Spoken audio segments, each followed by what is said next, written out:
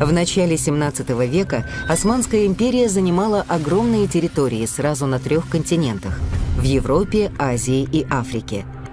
Алжир, Тунис, Египет, Сирия, Ирак, Йемен, Греция, Сербия, Болгария – все эти страны подчинялись султану.